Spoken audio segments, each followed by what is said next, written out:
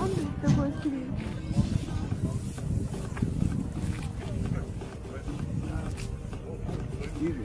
А одни мелкие лучше. Одни мышцы лучше.